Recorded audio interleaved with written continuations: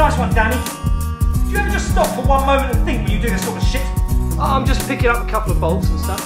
Oh no, I'll be back in what? Half an hour? 20 minutes? Yeah, no, no, I know it took a while to get here, mate, but that was the traffic. Yeah, there's an RTA on the way, you know, women drivers.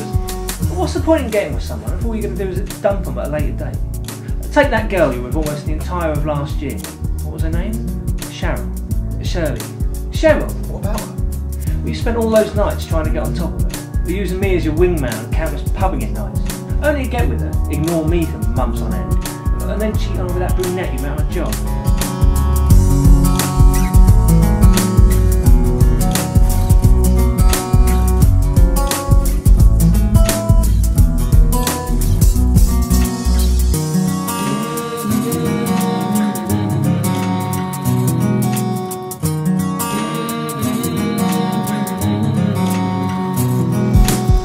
This, sir, is a little Jimmy, sir.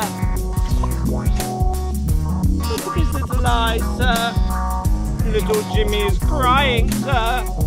Do you know why little Jimmy is crying, sir? I've no idea. It's because you won't give him any money, sir. That's preposterous. I've never even met the lad. makes it even worse, sir. Don't be ridiculous.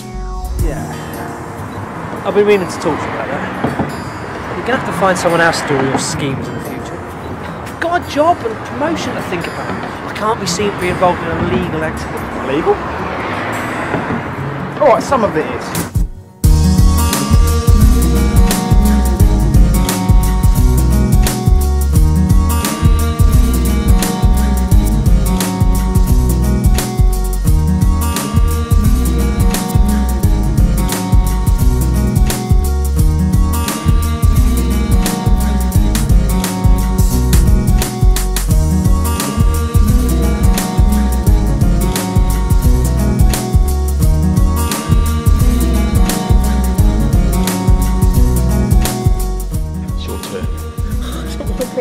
You started so you can finish. It's no fun anymore.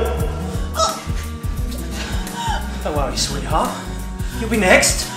What are you in the mood for? Action. Definitely some action. Any requests? Something with Bruce Willis. Mel Gibson. Hmm. I feel a film marathon coming on. Sounds good.